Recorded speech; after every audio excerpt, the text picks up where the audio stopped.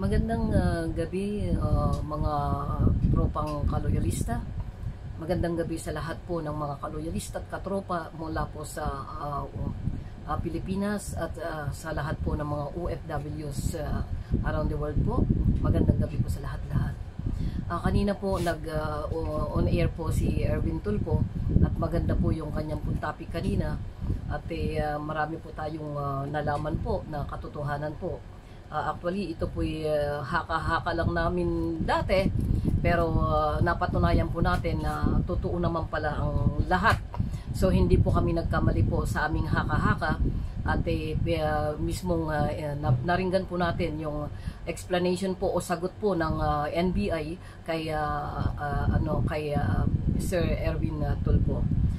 Ah, balik tayo mga kaloyalista, mga katropa at sa lahat ng mga ah, Normanyan.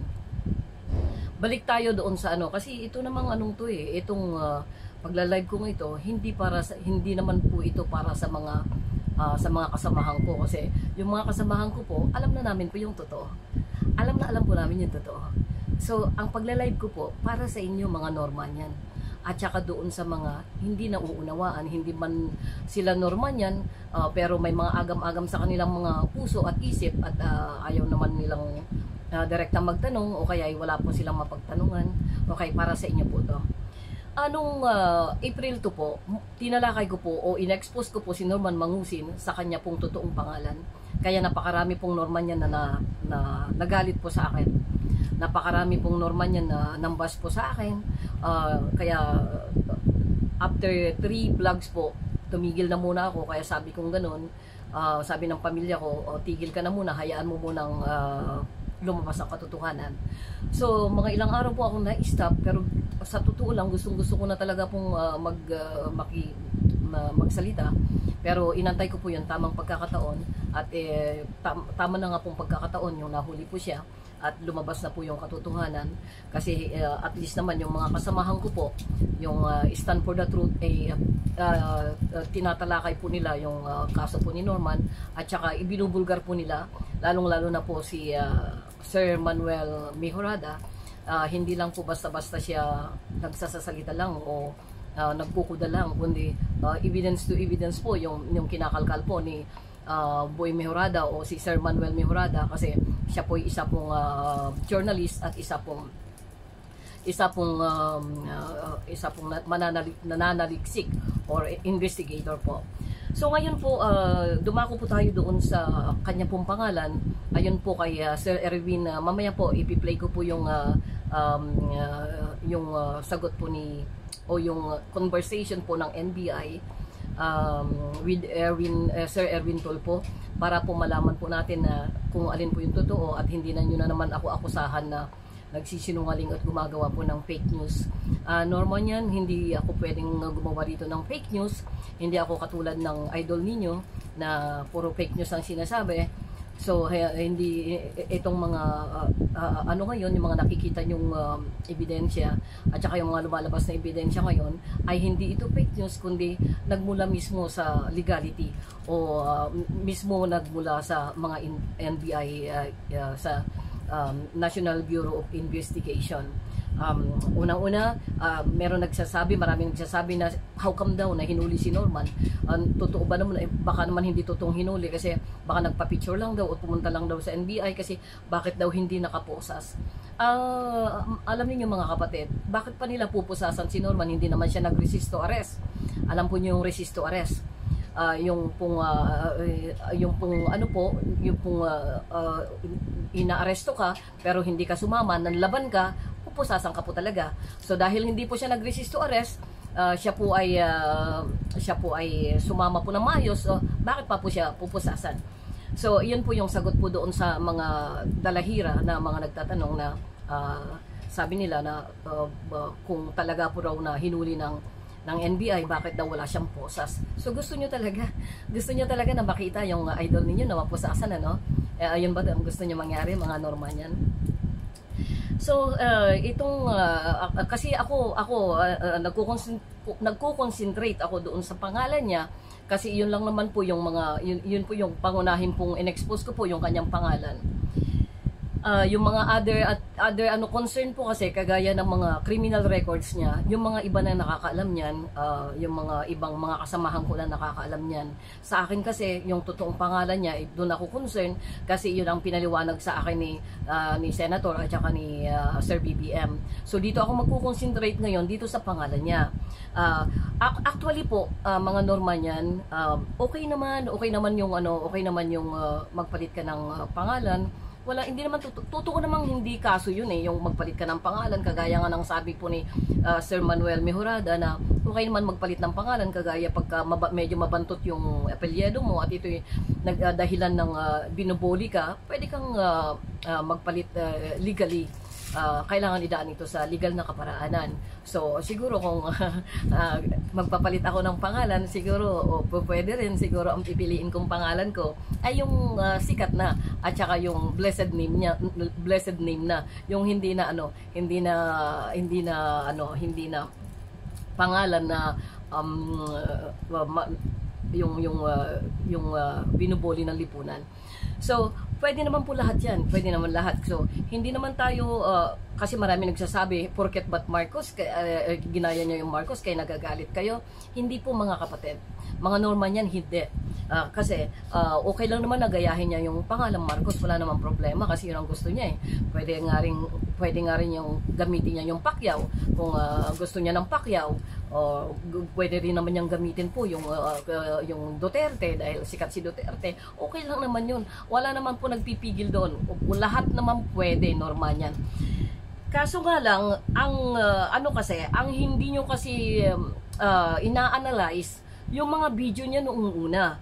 Uh, kasi kami meron kaming mga katibayan noon, meron kaming mga evidence na panood naming lahat noon, yung mga video niya na unang-una uh, inaangkin niya na siya ay uh, kamag-anak ng Marcos, um, inaangkin niya na uh, siya ay uh, anak ni uh, President uh, Presidente Marcos, si Tatay Pem, si Apo Pem, uh, inaangkin niya uh, siya yung tatay niya at uh, nauna yung nanay niya na si Doña Remedios o si Nanay Remedios na inanakan ni Tatay Pem bago si Madam Imelda.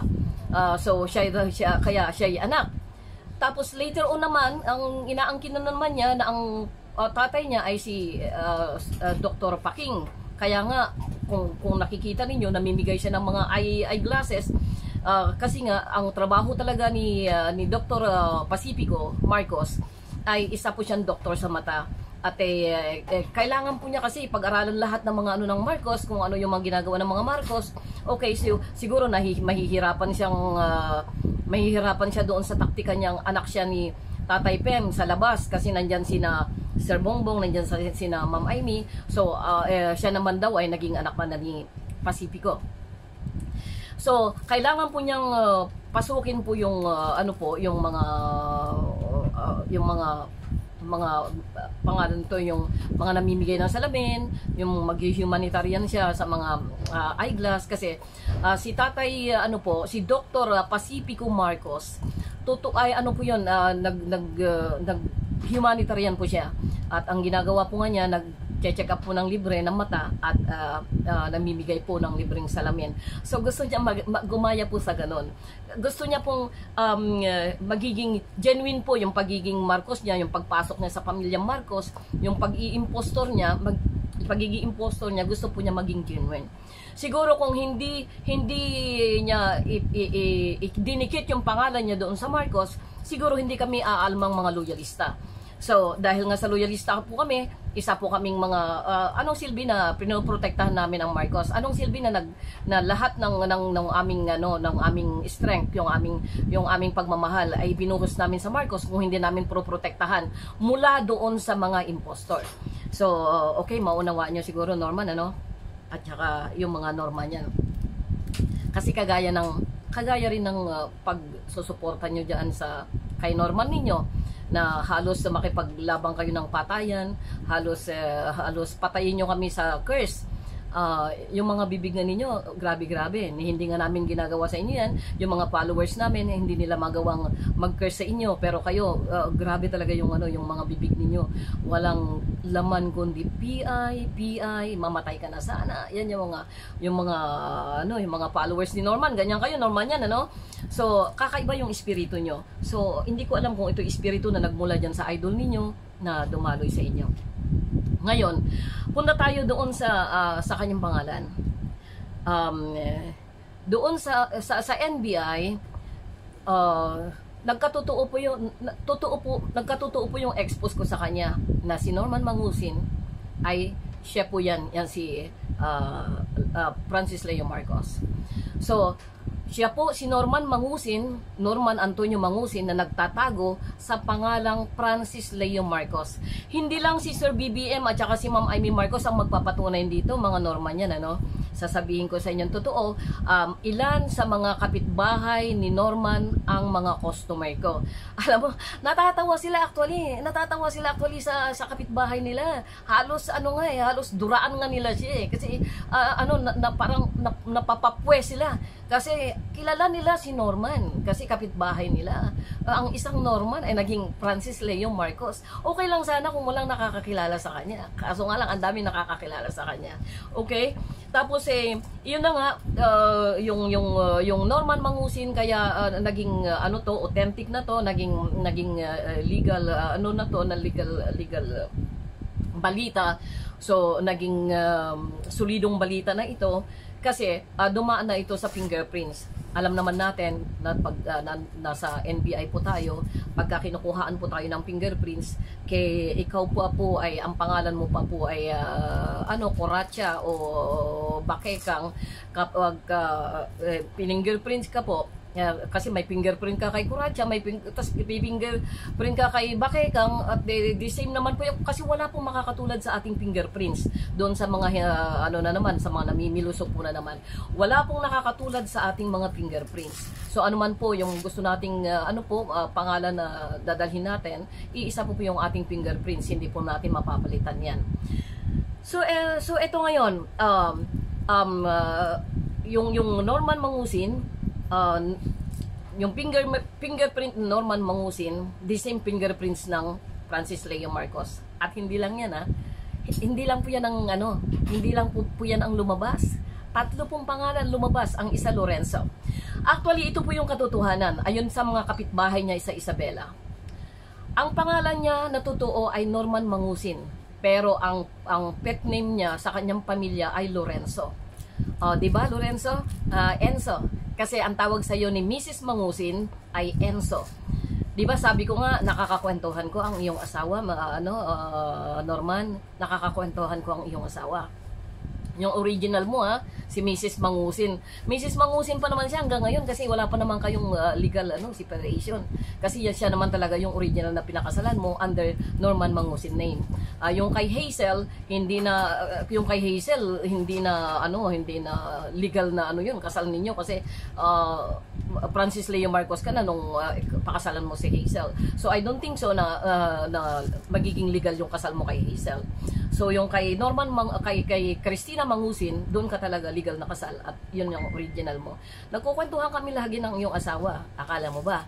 So alam na alam ko kung ano yung mga kalokohan mo, kung paano mo ninanakawan si Miss uh, Christina tuwing sumisweldo siya at naging pabigat sa iyo ng matagal na panahon.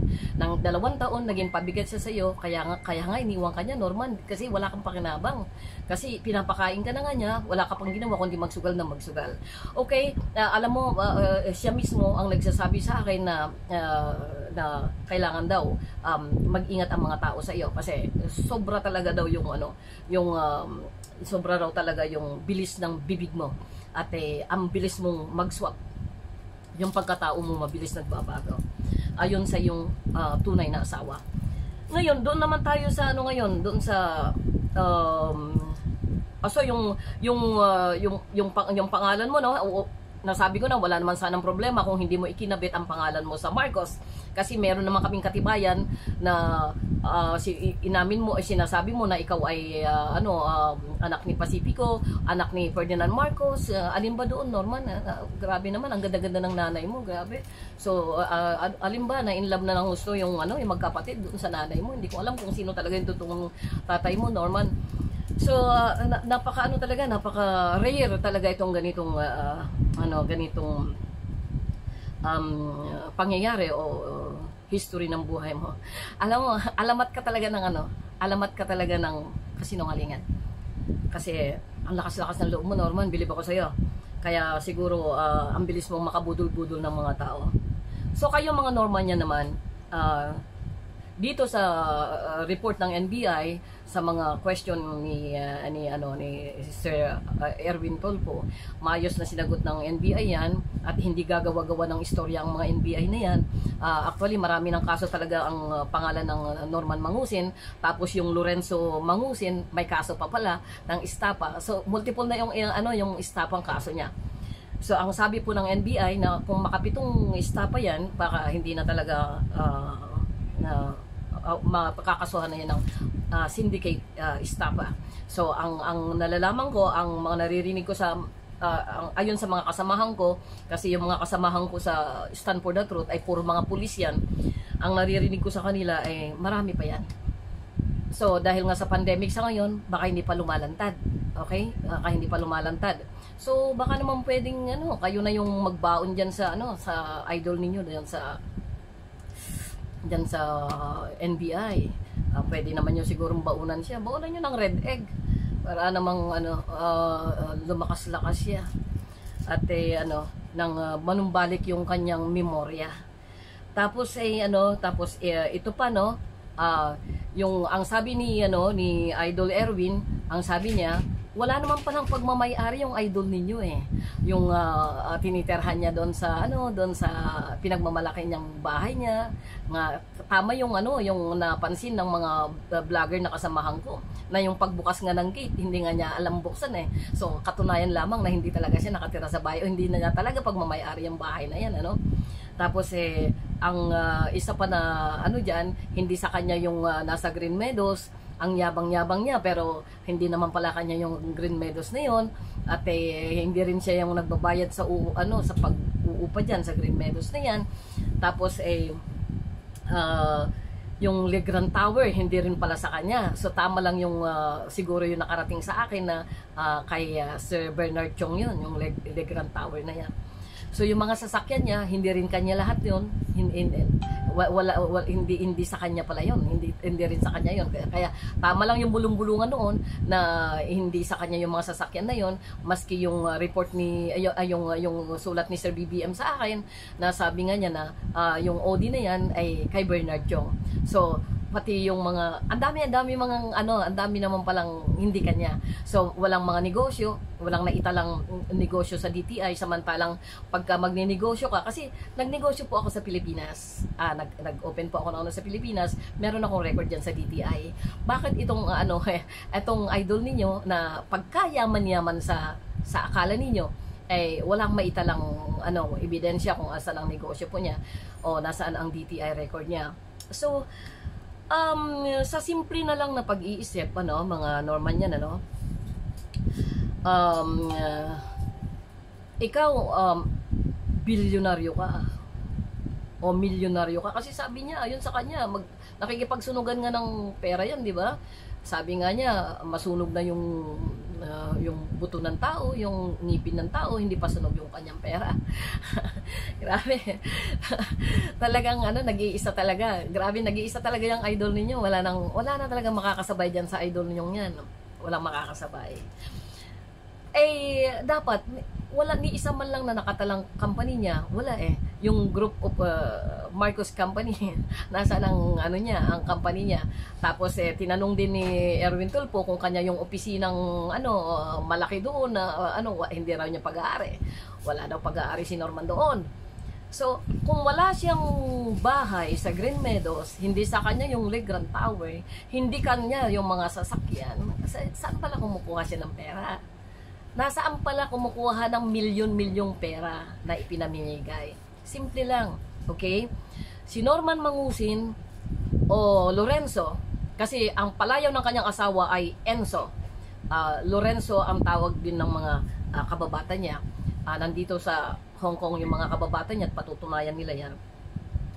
Um, ang uh, yung yung yung uh, yung uh, pagpalit niya ng pangalan kasi yung yung Norman Mangusin meron na kasing kaso yan eh. Kaya pinalitan niya. So nagkakaso ulit.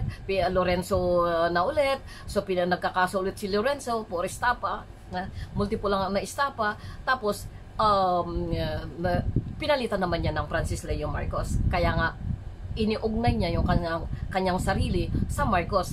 Nakikipag kaya pinilit niya makapasok sa pamilya Marcos, nakipag-picture kay uh, kay Sir Bongbong, nakikipag-picture kay uh, Madam Imelda, uh, nakikipag-picture sa sa sa pamilyang Marcos.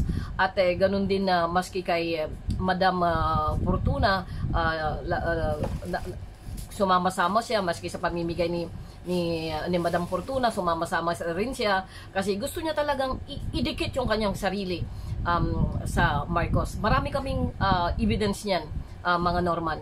Uh, hindi ko alam kung bakit hindi nyo napapanood yon kasi uh, nakakonsentrate lang kayo sa mukha ng idol ninyo, sa sinasabi ng idol ninyo. Hindi kayo, uh, hindi man lang nyo inalam o hindi man lang kayo nagtaka, ba't si idol parang kakaiba yung dating niya, parang something wrong. O pag-aralan ko nga si idol, sa hindi man lang kayo nag-isip ng ganun. Basta nag, nag one-sided lang talaga kayo. So, um, actually noon nung nakikita kong namimigay din niya ng ano, ng mga food pack, sabi ko nga sa inyo, humanga ako. Pero nung nakita kong ano, um, parang may dating, something wrong, pinag-aralan ko siya. So, tamang-tama naman, uh, na, na, na, nakita ko nga yung post ng bagong lipunan, kaya nagtanong ako kay Senator at saka kay Sir BBM. So, sinagot nila ako. Yung pagsagot nila na siya ay hindi hindi Francis Leo Marcos at uh, siya ay Norman Mangusin at siya ay notorious scammer, totoong nanggilalas po ako.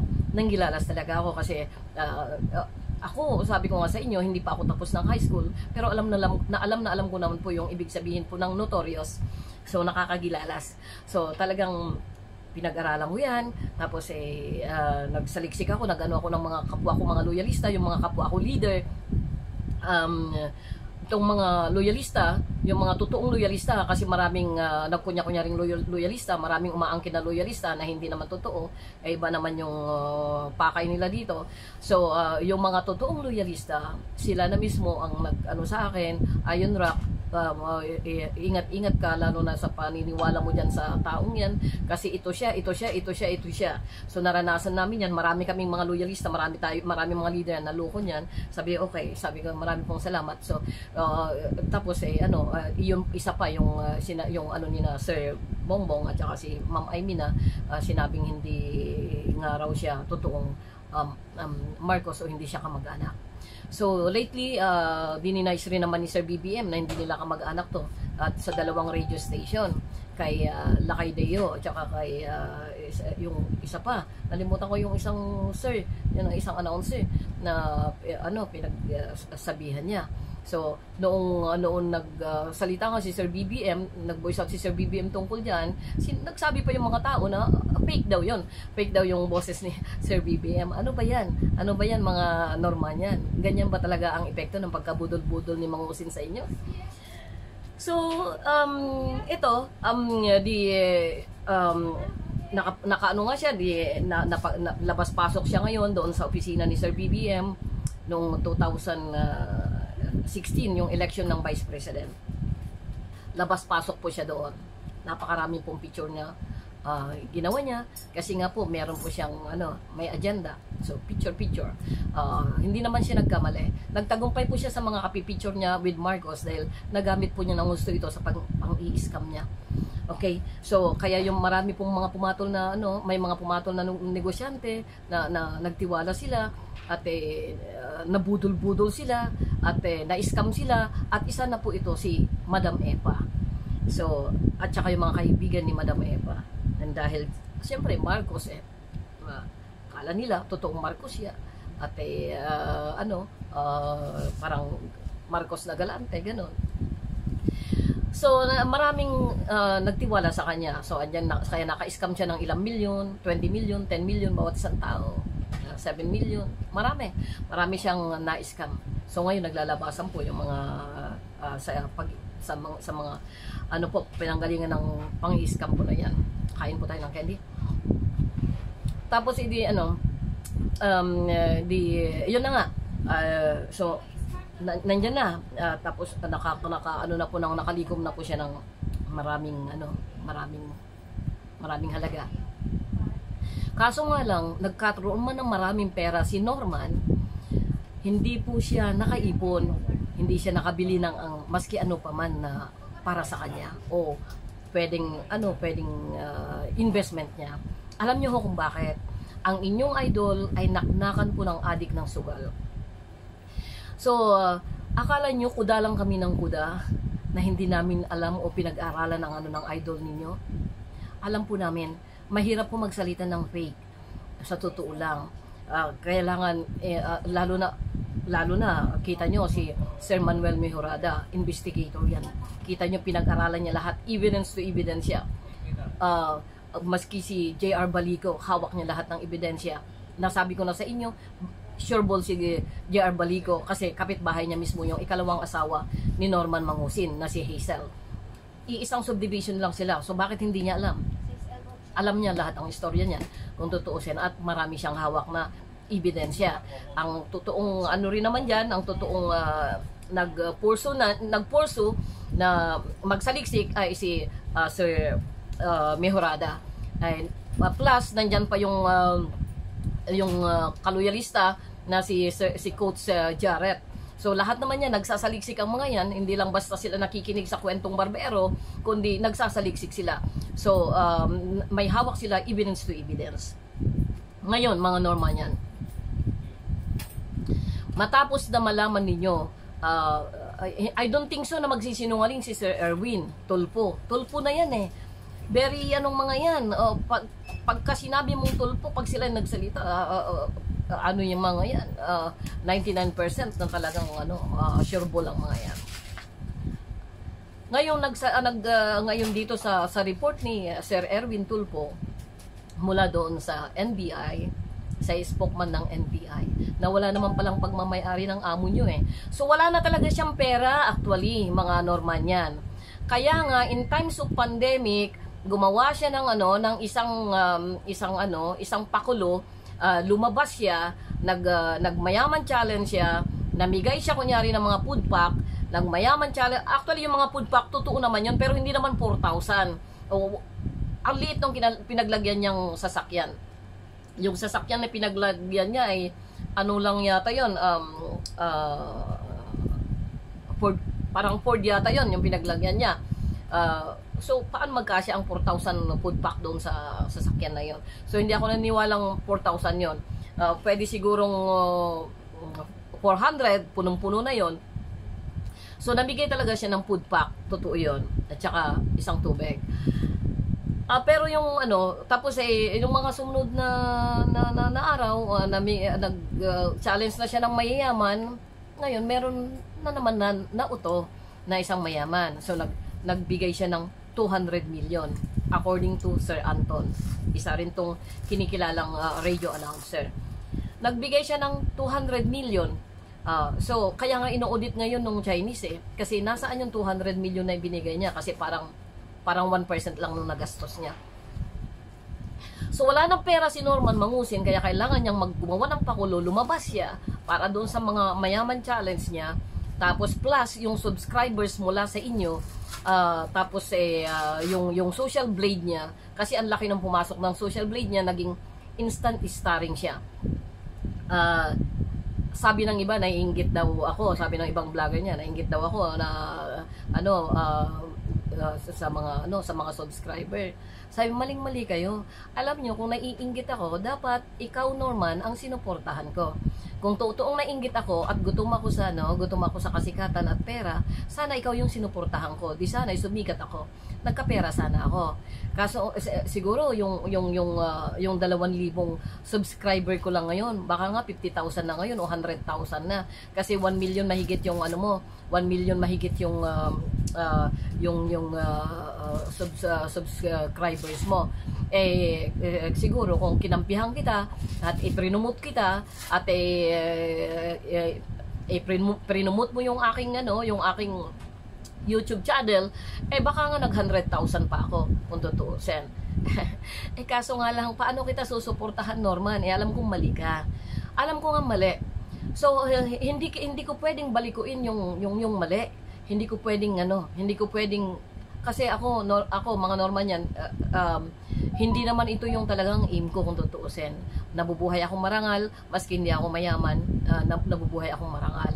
So bakit ako magpaka ano, magpaka magpagamit sa idol ninyo? So uh, pinili ko ang tumayo sa katotohanan at sa katwiran.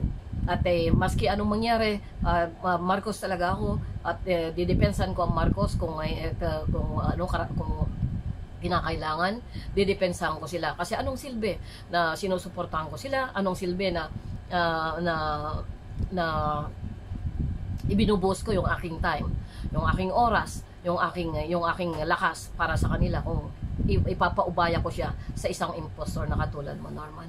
So, pasensya ka na, Norman, ha? Pasensya ka na kasi uh, talagang ganyan ang buhay. Kailangan mo talagang sagutin yung mga yung mga kasalanan mo. Uh, baka nga, ano eh, baka nga, Norman, yung mga yung mga challenge mo na mga mga bigas. Nabayaran mo na ba yan, Norman? uh, siguro kayong mga ano niya, normal niyan, total dinedepensahan niyo siya. Bayaran niyo na kung sakali man na hindi niya binayaran ng mga ano, ang mga uh, supplier ng bigas. Kasi kawawa naman yung mga supplier, madadamay pa sila sa kalokohan ng idol ninyo eh. Eh, kasi uh, talagang ugali niya to eh, yung mang scam, mangutang na hindi nagbabayad. Uh, kaya nga, ang dami niyang estapa ngayon. Uh, so, uh, pagdati, pagtatapos ng pandemic, baka magugulanta ngayon, marami pa yung lilitaw na yan. Kasi according sa mga source ko, Luzon, Visayas, Mindanao, Luzon, Visayas, Mindanao ang naloko ng inyong idol. At eh, ang galing, ang galing ng idol ninyo. Alam niyo, parang uh, siya yata yung itinuturing na nationalist scammer parang ang sarap siyang bansagan ng ano ng ano ng pambansang budol-budol. Uh, whatever, nagpapasalamat pa rin naman ako doon sa mga nakakain ng bigas mo. Nagpapasalamat din naman ako doon sa tulong mo, Norman, uh, na maski pa paano, uh, uh, may, may mga nakakain dyan sa uh, mga ano mo, sa mga dahilan ng kasikatan mo. May nakakain naman maski pa paano. Pero uh, alam mo Norman, marami ka rin namang may mga katangian ka rin naman, uh, kagaya nga ng uh, sabi nga nila masarap kang gumawa ng tinapay, ayun sa asawa mo masarap ka raw gumawa ng tinapay. So, ganoon na lang, uh, Norman, uh, sana uh, maunawaan mo kung bakit ka namin in-expose. Siguro, time na rin naman na pagbayaran mo lahat ng mga kasalanan mo, hindi habang panahon ay matatakasan mo ang iyong kasalanan. At kay, uh, alalahan naman natin na merong Diyos at ay merong pong biktima. Kayong mga Norman, mga Norman yan, pa, uh, alalahanin nyo naman po yung mga biktima. Huwag lang po yung bigas ang nakikita nyo. Ano, patay gutom na lang kayo? wag niyo naman wag naman basta wag naman yung puro bigas na lang yung ano yung bumuhol doon sa katinuan ninyo wag naman aalahan natin yung mga ano po yung mga yung mga uh, na na na na biktima niya lalong lalo na diyan sa nabiktima niya diyan sa um, uh, human trafficking kasi ang human trafficking po ay napakadelikado uh, yung mga babaeng yan pwedeng nasalak na sila sa prostitution dahil pumunta, umalis sila, pumunta ng, ng uh, Cyprus, na Middle East na uh, wala pong kakilala, walang, ano, walang uh, kaukulang dokumento. At eh, anong asahan yung trabaho ng mga iyan? So, pwedeng, ang kasi marami pong nangyari yan dati eh nung uh, panahon ng uh, British dito sa Hong Kong, maraming mga human trafficking, nasadlak sila sa prostitution. Uh, mabuti na lang at eh, dito sa Hong Kong, maraming ano, maraming mga uh, bagagaling yung mga mga pulis dito sa Hong Kong kaya na-trace nila kaagad yon pero marami ng Pilipina that time na napahamak dahil diyan sa human trafficking at kadalasan nasasadlak sa prostitution ang ang uh, ang mga biktima ng human trafficking. Paano kung kapatid yung pala yung isa doon? O pamangkin nyo o kamag-anak ninyo? Hindi pa kayo naawa al- alalahanin naman natin yung inyong mga kapatid, ah, alalahanin niyo naman yung mga yung mga anak ninyo na mga babae. Bakit ho hindi niyo nauunawaan na iba po yung ano, magkaiba po yung bigay at saka magkaiba po yung kasalanan? Hayaan nyo naman po na pagbayaran niya yung kanyang mga kasalanan, okay? Hindi porket namigay ang tao, eh, bayad na siya sa kanyang mga kasalanan. Mga kapatid, alalahanin ninyo ang demonyo pwedeng magmukha pong anghel. Okay? Uh, pwede pong magmukhang anghel ang, ang, ang isang demonyo. Kaya- Pero, ang demonyo ay demonyo. Lalabas at lalabas pa rin ang tunay na kulay niya. Lalabas at lalabas pa rin ang tunay na anyo niya. Kasi, siyempre demonyo siya, eh, nagkukunyari lang naman siya eh. So, itong, itong pamimigay niyang ito, hindi ba yung nakita na itong pamimigay niya ay daan upang makakuha siya ng, ah, ng ah, sympathy vote? Sim, sympathy vote mula sa inyo. Kasi sa dami na ng mga kaso niya, ko in case na talagang wala na siyang ligtas at makasuhan na siya kasi wala na siyang pera eh. Kasi kung magpatalo siya sa sugal sa casino, 10 million 10 million ah, a day. Ah, 10, 10 million a night. Eh, yan yung kwento ha, yun yung kwento ng mga ng mga kaibigan ni Norman, naging kaibigan ni Norman at na at eh, minsan sinasabihan nga raw nila na tama na Norman, eh, eh, sayang yung mga pina, pinatatalo mo sa casino. Eh kaso hindi siya masabihan kasi nga talagang ganit siya sa sugal. So one time talaga, uh, nung, yung kwentuhan namin ni Mrs. Mangusin na yung mga yung sweldo niya ninanakaw ni Norman Mangusin at one time one time lang niyang isinasabong. Kaya galit na galit si Mrs. Mangusin uh, one time, pinag-resign daw niya si Mrs. Mangusin sa company na pinagtatrabahuan niya para makuha yung long service. At eh, ang, ang pangako nitong Norman na ito, papakilala sa pamilya niya kasi hindi pa niya nakikilala yung pamilya niya kaya nangungulit tong si Mrs. Mangusin ay pakilala naman daw sa pamilya niya ano putok na lang siya sa buhok iyon yung ano ni Mrs. Mangusin kulit niya sa kanya so one time pinagbihis niya si Mrs. Mangusin eh pinag ano niya si Mrs. Mangusin pinag-ready niya mag-ready daw siya ng halaga kasi ah, hindi naman daw basta-basta yung pamilya niya at nakakahiya naman na oh, hindi raw sila presentable at wala silang dalang pera tapos ah, nagsisi si Mrs. Mangusin, binigay yung ATM sa kanya, naipasok doon yung long service niya. Ah, pagdating nila doon sa hall, nakala niya ay party talaga ng mga kamag-anak ni ni Norman. 'Di ba? Norman, natatandaan mo 'yon? Ikaw na nga lang kausapin ko, Norman. Natatandaan mo 'yon, 'di ba? Yung ah, dinala mo si Mrs. Mangusin doon ah, dahil ang pangako mo, papakilala mo sa mga kamag-anak mo dahil may party. Pero pagdating doon sa may party, nagulat si Mrs. Mangusin dahil siya lang pala yung nag-iisang babae. Kasi nakita niya, uh, cockpit pala yon. So, nagwala si Mrs. Mangusin. Natatandaan mo yon Nagwala si Mrs. Mangusin at umuwi siya. So, yun na yung the end of, uh, na ng story ng, ng, uh, ng ano po nyo, ng pagsasama ninyo at pagiging mag-asawa ninyo. Kasi, uh, nasagad na ang, uh, ano, ang galit ni Mrs. Mangusin sa'yo. Kaya, uh, Norman, ma- sa- sa- ang dami-dami mong nagawang kapalpakan, Norman. Eh, tama na, tama na. Sarapin mo na yung kasalanan mo. Bata ka pa naman, uh, you deserve the second chance naman. Kung, uh, kung uh, ano naman, kung type will come naman na siguro uh, yung sentensya sa iyo hindi naman siguro habang buhay uh, siguro bibigyan ka naman siguro ng second chance ng kulungan o whatever o o uh, bibigyan ka ng, ng uh, yung batas ay magbigay sa'yo ng second chance awit magpakabait ka na naman Norman tama na naman kasi ang dami mo nang niloko eh. Ang dami mo nang iniscam sabi ko nga sa iyo uh, sana kung naging uh, naging ano ka sana kung uh, nagpakatotoo ka sana at eh, ano, kasi uh, medyo naawa rin naman ako dun sa story ng buhay mo dahil uh, ayon sa misis mo, eh, ikaw daw ay lumaki din sa iba't ibang tao at eh, katulad ko rin, lumaki rin ako sa iba't ibang tao nag-aaral ako sa gabi at nagtrabaho sa araw. Kasi 11 kami magkakapatid. Ako yung naging breadwinner. Pero eh tinaguyod ko talaga yung uh, yung uh, buhay ko. At eh never na uh, never naman na na, na ako na, na ako na mag, na mag uh, ano po na mag-scam o gumawa po ng mga against po sa aking kapwa. Uh, nagkakasala din ako. Bakit eh, hindi? Eh, tao lang din naman ako. Pero hindi kasama diyan yung panluluko sa kapwa hindi kasama diyan yung yung uh, panging gaganso sa kapwa at eh, hindi kasama diyan yung pang-aapi sa kapwa. So, uh, uh, yun lang uh, mga norma niyan. Alam ko mabubuisit na naman kayo pero wala akong magagawa uh, uh, kung ito yung paraan para mabuksan ng ang iba sa inyo. Ngayon, kung talagang yung mga nakikita ninyo, yung mga naririnig nyo mula sa kina Erwin Tulpo, mula kay, um, kay Lapid Fire, doon sa mga uh, mainstream media, at hindi pa rin kayo naniwala, ay talagang malaki na talaga yung ano, yung nagawa ni Norman sa buhay ninyo. Ay, uh, grabe na yung uh, budol-budol niya talaga yung yung uh, epekto ng kanyang agimat. Talagang sure ball talagang ano, talagang uh, sinakop niya talaga, sinakop niya talaga yung isip ninyo kasi isinarado niya yung mga pangunawa ninyo.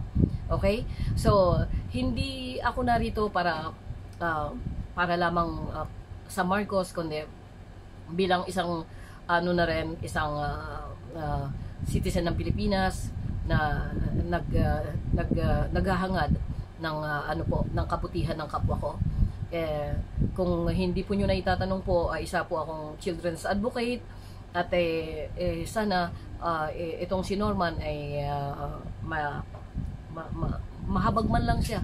Mahabag man lang siya doon sa kasi merong ano yan eh. Uh, meron siyang uh, violence against uh, women and children. So uh, maraming ano, marami talagang kinasangkutan tong idol ninyo ano So, kung uh, medyo ano kayo, medyo talagang naawa kayo at gusto rin naman kayo nang magpakain doon sa idol ninyo, eh puntahan nyo naman doon sa kulungan at dalawin ninyo. Wala namang problema doon. Dalawan nyo siya ng ano, dalawan nyo siya ng pagkain niya. Kasi pagluto kayo ng mga paborito niya. Ano ba paborito ng idol ninyo? So, ganun lang. Hindi hindi po ako dito para mga asar para pagaanin ang lahat, paliwanag po ang lahat at paliwanag ang aking side. Yung mga yung mga bus po ninyo doon, grabe yung mga bus ninyo. Uh, grabe kayo magsalita. Uh, parang yung secretary lang ni Norman yan na parang makapag PI, PI, PI, PI na lulutong at ano, wagas na maka PI uh, uh, na alam niyo parang ang ano nakakasok ang pakinggan eh. Uh, napapansin ko talaga yung mga yung mga bus niyo yung mga comment niyo mga Norman yan kay kay kay kay Sir uh, Mejorada kay bus niyo kay uh, kay uh, coach uh, um, Jaret uh, kay J, yung yung pagbabas niyo kay JR at sa lahat ng mga kasamahan kong mga vloggers na dumidepensa sa katotohanan. Alam niyo, grabe kayong magbas, grabe. Hindi kinakaya ng aming espiritu. Hindi ki, kami kung siguro kung ako yung bumigkas noon, parang ako yung masasaktan. Sasakit siguro pati mga rayuma ko kung ako yung magsasalita noon. Kasi uh, uh, ano eh, hindi ka rapat dapat eh, hindi ka nais-nais. Yung mga salitang hindi ka nais-nais, uh, parang uh, hindi mo kayang bigkasin yun eh. Sa totoo lang, hindi mo kayang bigkasin sa kapwa mo. Maski kay Norman sa ngayon na nakakulong na si Norman at eh, maski si, ay na, na, na I mean nasa nasa ay, hindi sorry, sorry, sorry to that words. Alam kong i-quote niya yung nakakulong na yan. Nasa custody ng NBI si Norman. At uh, maski siguro mahatulan pa si Norman, uh, hindi ko naman uh, siguro magawang i-curse siya. Kundi siguro magpapasalamat lang ako sa Diyos kasi nagbigay talaga siya ng hustisya para sa kanya. Kasi pangit talaga po yung nagkikurse. May mga anak kayo, may mga asawa kayo.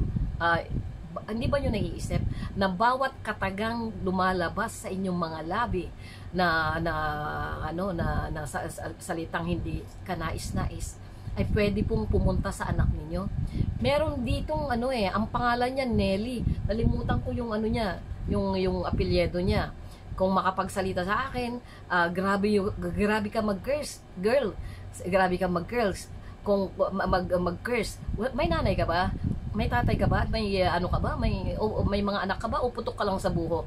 Kasi yung pagka-curse mong yan, pwedeng lumipat sa iyong pamilya. Ikaw, uh, kung uh, wala ka ng pagmamahal sa mga pamilya mo, sa mga magulang mo, dahan-dahan, dahan-dahan sa pananalita kasi pwedeng lahat yan ay pumasok sa inyo kasi uh, merong kasabihan na kung ano ang sinasabi mo laban sa iyong kapwa na wala ka pang nalalaman, babalik sa iyo yan. So, ganun lang mga Norman yan at mga mga ano, mga mga kapatid na gusto pong maliwanagan. At eh, may chance pa naman.